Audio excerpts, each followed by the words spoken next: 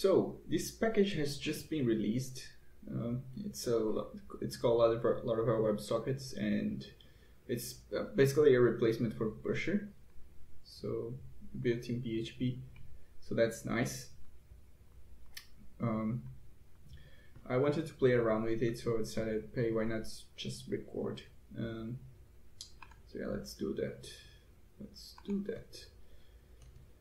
So I have this application here called Slackish. Uh, it's a Slack clone, but yeah, simpler, smaller, I would say. Uh, it's not a replacement for, for, for Slackish, it's just a playground. Um, yeah, so this application uses Docker Compose locally, and yeah, let's let's see it running.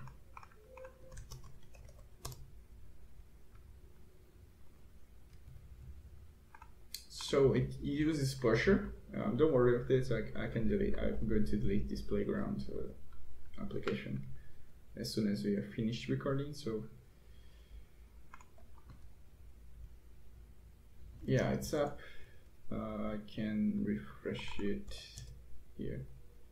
And okay, so this is the homepage, and I can authenticate with Google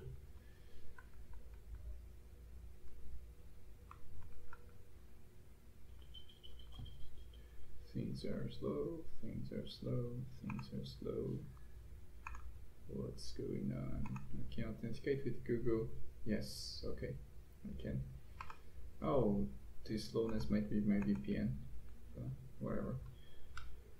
Um,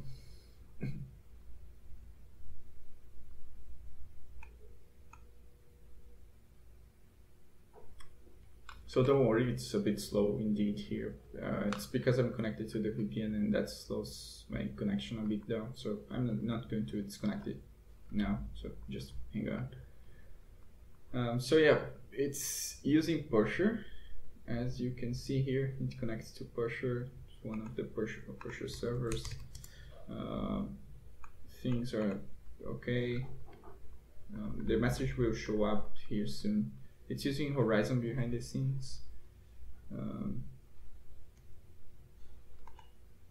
yeah, so this is the approach that I'm using. It's uh, in the Docker Compose, as I said, it it has the appli uh, the application service and the worker service, which both share the same application image. Um, this approach is described in this in this article on Laravel News, which is awesome. I've been using so far and it's great. Um, but yeah, let's replace Pusher with uh, this awesome new package. Let's start installation and I'm going to copy, not here, here. I'm going to Composer require it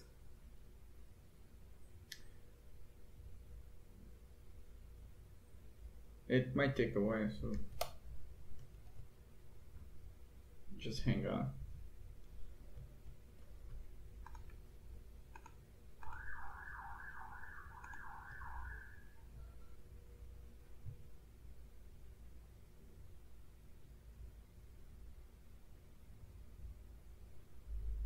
Damn, it's slow. Should have disconnected before I started recording, but yeah, whatever. Finishing. I'm gonna copy this to speed things up a bit. So this is the migration for the statistics. Um,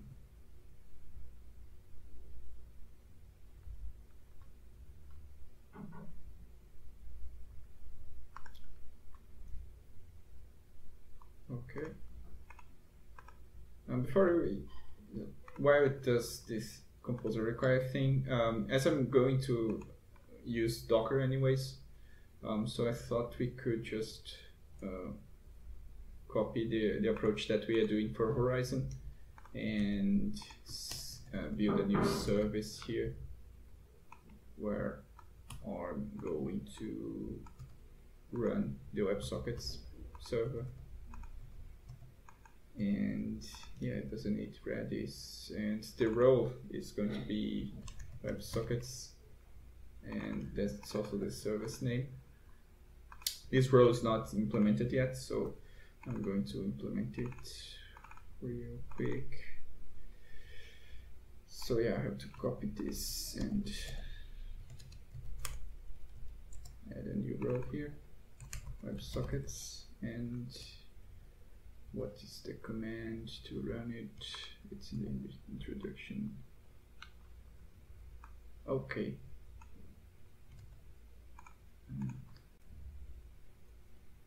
Port. Yeah, okay, so this is the command actually, because I'm going to override the host. So this is the WebSockets running the Laravel WebSockets.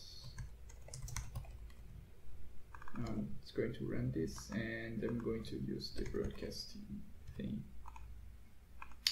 Okay. So I think we are done here with this uh, the Docker setup. But before I start the service, I have to actually finish installing. So uh, yeah, it's done installing Composer. Um, so let's move on to the next steps, which are publishing the migration.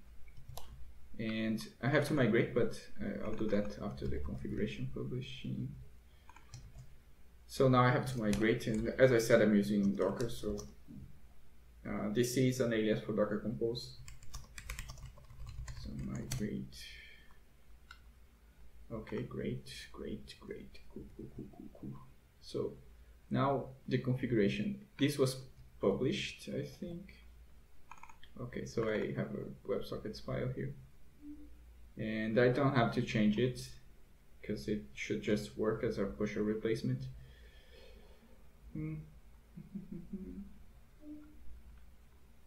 yeah, maybe jump into this section. I already have this, I think, because I'm I'm actually using Pusher. So yeah, this is here already.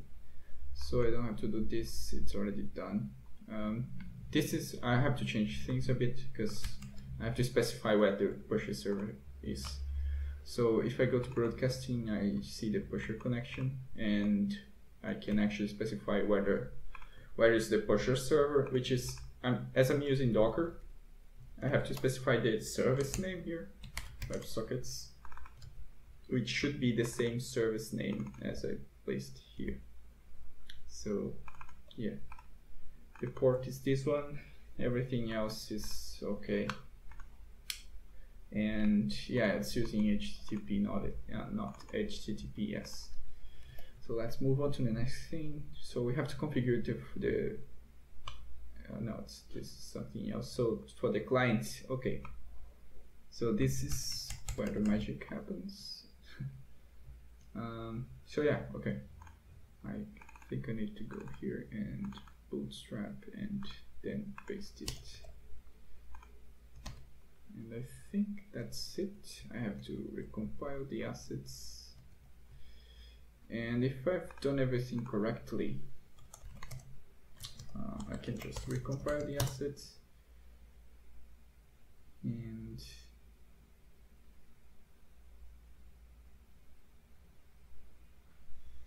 and then I can start Docker Compose up so it starts the WebSocket server but before we as we changed uh, uh, configuration here, I have to restart the worker because otherwise that configuration is not uh, going to take place. So yeah, let's restart the worker.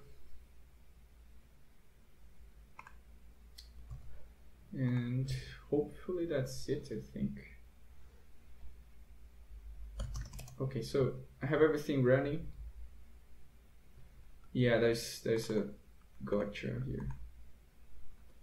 PC down, sockets.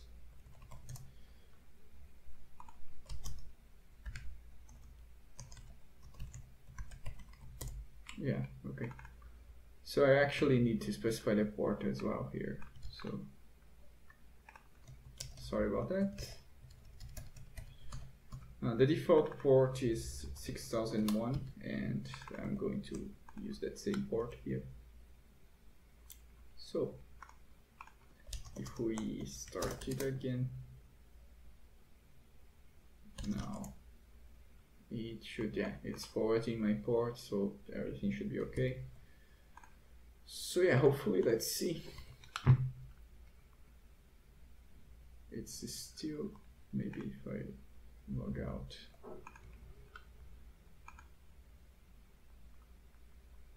And log in again. Because it was still using Pusher for some reason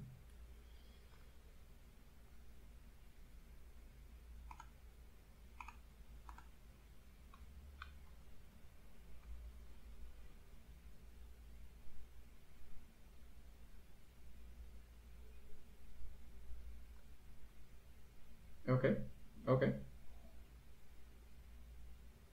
So it's actually connecting to my local host. Yeah, nice, nice. Okay, so this is actually using um, the package right now. So if I send a message, I should see, uh, yeah, it works, it works. Nice, they have a dashboard. Yeah, dashboard. So if I go to slash Laravel WebSockets. Um, so if I let, me open up this uh, new tab, uh, Laravel WebSockets, and yeah, if I connect to the server, uh, yeah, I can see things are working. So if I send a message here, testing, I should see a new message there. Yes, nice. Okay. Sounds good, sounds good. So yeah, that was it basically. It wasn't that hard to do. It wasn't hard at all actually. Nice, pretty cool, pretty cool. Um, so just to prove that it's not using Pusher for if for whatever reason you don't trust me, I'm going to change the credentials here. Um, so yeah, if this was using Pusher, it was going to fail and I have to restart the worker and the WebSockets because I've changed the credential. So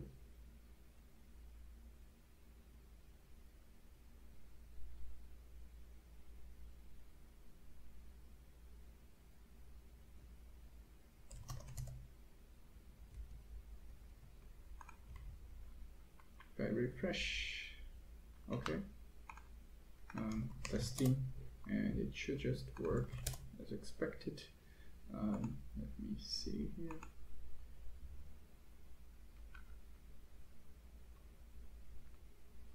okay